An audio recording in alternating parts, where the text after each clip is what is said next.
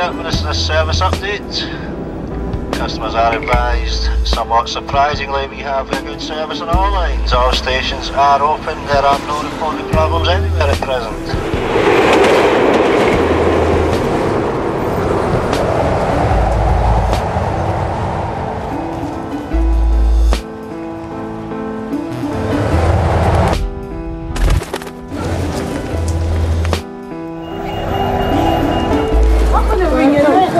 to my